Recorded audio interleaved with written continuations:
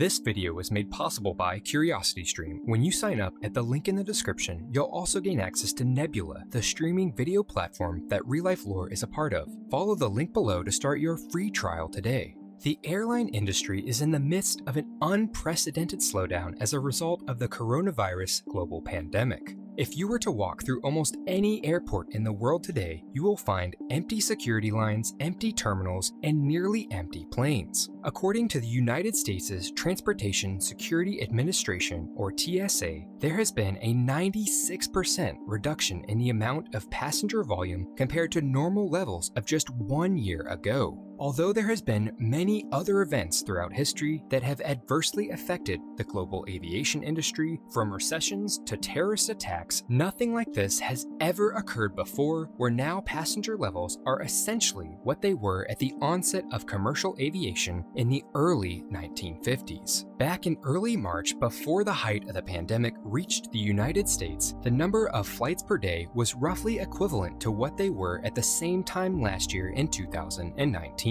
And similarly, the percentage of seats filled versus total available on each flight was approximately 92%, meaning that airlines could make a comfortable profit for almost all of their routes across the country. Fast forward nearly two months later, and things are a much different story. The number of US flights per day is now down under 40% of what they once were a few months ago, and worse off, less than 1 in 10 seats per flight is ever being occupied. And this is not unique to the United States, as airline travel across the world has dropped dramatically. With over half of the flights being canceled across the United States, that means a lot of empty planes are sitting around. While typically at any given time, there are a few hundred aircraft considered idle due to maintenance or other reasons, this number soared to approximately 46% of all United States based carriers' planes and are now sitting idle in storage, just waiting to be reactivated again once the crisis is over. This presents a real problem as storage space for these aircraft is limited, as typically these aircraft are, well,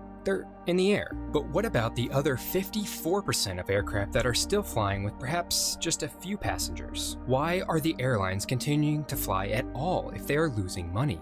The evidence is suggesting that the number of people flying has dropped way faster than the number of flights per day, thus leading to a lot of empty planes, which is primarily due to some strange economic factors at play. While most of the country, and the world for that matter, has been staying at home, the federal government has forced planes to stay in the air throughout the crisis. This is because, according to the US Department of Transportation, airlines are only eligible for their portion of the $25 billion aviation bailout if minimum service is maintained. Essentially, the aim of this is to provide funds to motivate airlines to continue air service and not furlough any employees through this period of record low demand for air travel. The conditions state that if an airline flew a route at least once per day, five times per week before March 1st, 2020, it must continue to do so during the pandemic or request an exception to remain eligible for any bailout funds. The economics behind maintaining flights, which essentially are less than 10% filled, are quite startling. Since the beginning of the pandemic, every time an aircraft takes off, it is losing money and a lot of it. Obviously, the more passengers on a flight, the more revenue that flight will generate. Take this total revenue amount and subtract out costs to the airline such as fuel, maintenance, landing fees, and employee wages, and you are left with the profit produced from the actual flight.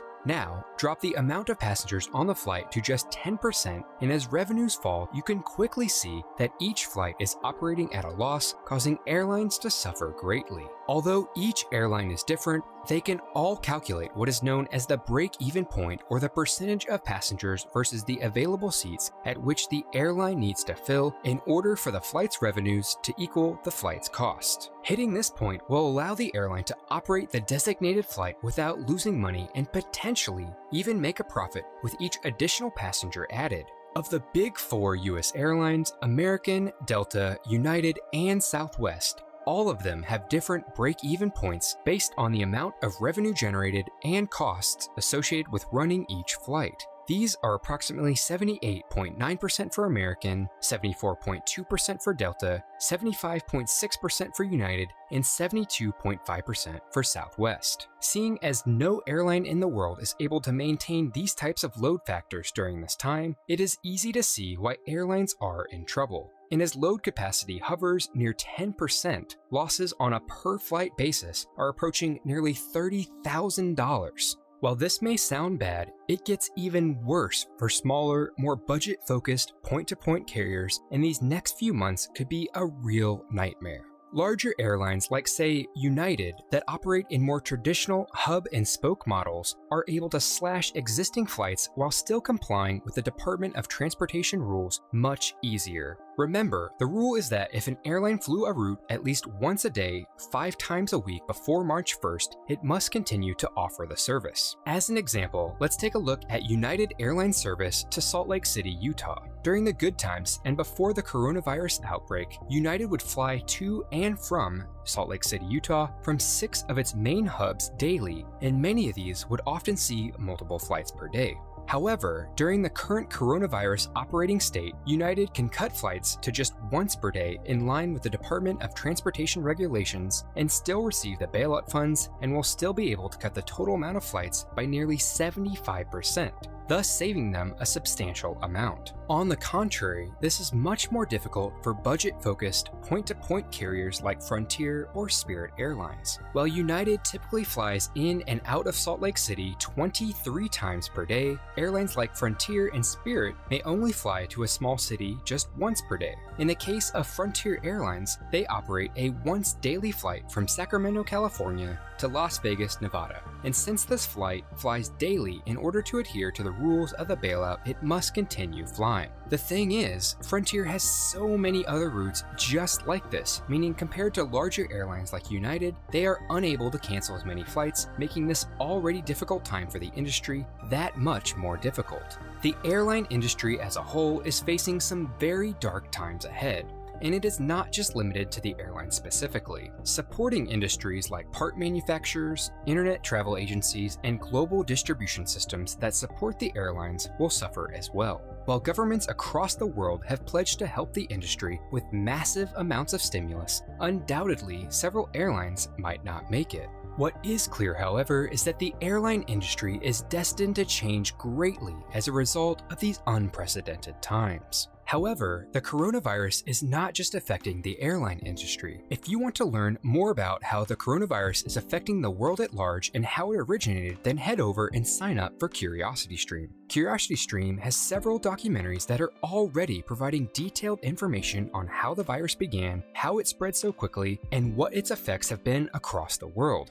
Not to mention that this is just one of thousands of top quality shows and documentaries that you can watch at any time. Additionally, when you sign up for an annual subscription to CuriosityStream with a link in the description, or by going to curiositystream.com forward slash real life lore 2, you also gain access to Nebula. Nebula is the video streaming platform made possible by many of your favorite YouTube creators with a ton of awesome original content from people like Wendover Productions and Real Engineering. Best of all, it's only $20 for a full year subscription, so for less than $2 per month, you will gain access to all of this awesome, original, top rated content. So go ahead and give CuriosityStream a try and get access to Nebula when you visit curiositystream.com forward slash real life lore 2. And as always, thank you so much for watching.